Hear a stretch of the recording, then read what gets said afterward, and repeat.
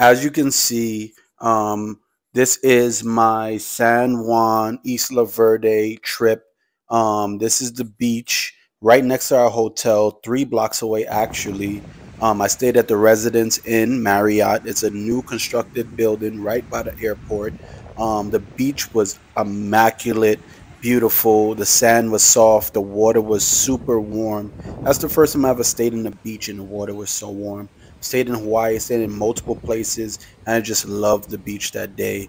Um, it wasn't that much sun. Um, the days were kind of rainy, but the beach was beautiful. So that was my first day at San Juan. Next, we have the Bacardi uh, rum tour. I'm saying Bacardi because that's the way they pronounced it.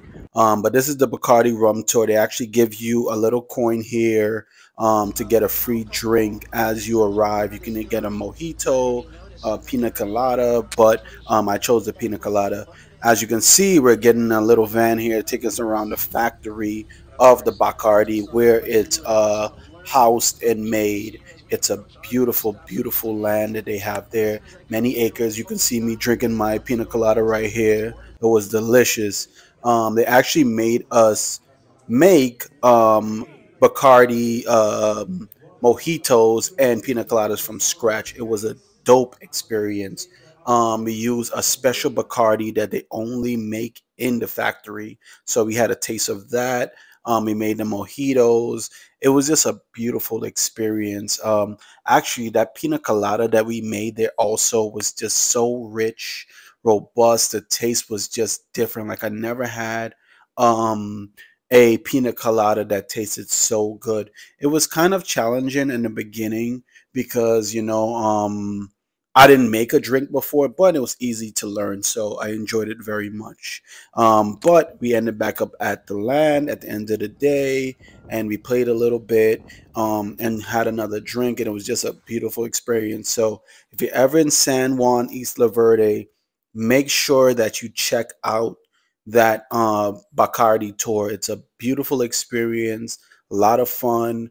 Um, you're around a bunch of people enjoying the experience. Um, you get to taste rum, get to see where they make the Bacardi, get to learn the history about the Bacardi. Um, it's just a beautiful experience that I think anyone should enjoy when they go to San uh, San Juan in Puerto Rico. So definitely check it out. It's inexpensive. You could go on I think Viator is the uh, the website, and it was like eighty six dollars per person, so it wasn't bad. And that's the actual um, special drink that they uh, serve only at the Bacardi um, factory. So okay, second day, um, it was raining quite a bit. That was kind of upsetting, but nonetheless, it was a beautiful, beautiful day. Um, we definitely went down to the marina to do like a boat tour, but that didn't work out because of the weather. So we ended up at T-Mobile Distro, um, which is like a party area where they have like arcades, live music, restaurants, casinos. It was just a beautiful, beautiful area to check out. That's T-Mobile right there. Um, they have the casino there, like I said before. Uh, beautiful architecture around, uh, live nature around. You know, this was the same tree I saw in Hawaii, so that was pretty dope. Um, that was something different that I enjoyed. You know, anytime I see anything with Hawaii, I'm getting hyped. But um, yeah, we was at the T-Mobile distro. That's my wife, and it was just an amazing experience. Um, really fun. The live music was playing for the kids. Um, we played basketball at the arcade there. We checked out a few drinks, and that was great. The same day, we ended up at La Placita, which is one of the. I think that was the best place I've been to in um, Puerto Rico. It's in San Juan, and it's just an open area with open bars. They have hookah there. They have chicharron, which is like a fried chicken or fried pork. It was delicious. I think they had the best mojitos there by far. You know, it was just a beautiful experience um, that we had that day. It was such a party area. I am an old guy, so we got there a little bit earlier after T-Mobile but we ended up staying there till like around 10 o'clock. People did say that around 12 o'clock is the hype area. I mean, the hype time for that area. That's when it gets popping. So this is around 10 o'clock, 9:30.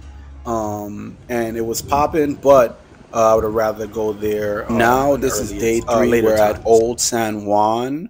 Um, we went to the I think it's called the I think it was the military base. I forgot the name of it, but that was just a beautiful history, historic landscaping was beautiful. Just everything, the view. It was in the top of um Old San Juan, so you see the whole area. You even see Isla Verde. You see the beaches.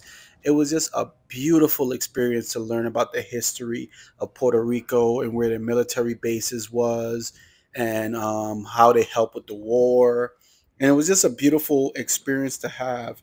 The fact that you can see the whole city was another great experience for me that I enjoyed. So, um, if you're going to Old San Juan, definitely do the tour. It's like ten dollars to get in.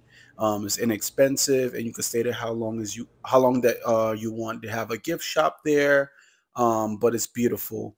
Uh, you get to see all those older um, you know experiences that they had during the military times. That was really nice. So I definitely enjoyed that, and I enjoyed the breathtaking view that they have of Old San Juan. You know, that was the best part. Then we ended up leaving there and going down to Old San Juan to check out a few bars um, which was nice. We went to Barrachina, which was the first pina colada maker. This is so day three or day four, and I'm heading on the uh, ferry to Flamenco Beach. Now, Flamenco Beach, I've been to many beaches, and I think this is by far the best beach I've been to. Um, the water was just crystal clear. It looked like something out of a movie. Like um, you could just see the different it was I like when I go to a beach and you see nature there. Like as you can see, this was the entrance uh to the beach into the water. And it was just like something out of a movie. Like I'm pretty sure they filmed a, a beautiful movie there because um it was just breathtaking. It was unrealistic. You know, I really thought I was in a movie. I was somewhere like paradise because it was just a beautiful, quiet beach, you know, clean water, crystal clear. You could see your foot right through the water um, had the beautiful mountains around, had restaurants around. Um, this is by far my favorite beach. I haven't been to all the beaches in the world. You know, that would take forever, but um, so far, this is my favorite beach I've been to. Um, I would definitely check it out again. So if you're ever traveling um, to Puerto Rico, definitely check out Old, uh, not Old San Juan, Flamenco Beach in um. It's beautiful. It's like five dollars to get on the um the ferry, and you'll have a great time to spend there. Make sure you get the tickets early. That's the restaurants that they have around. They had some shrimp. They had chicharrones. They had everything. They had plantains, mango. Definitely check out the restaurants in Flamenco Beach. You'll definitely, definitely have a great time. And that's the end of the video. Me sailing away loving Puerto Rico. Hopefully, you guys enjoyed.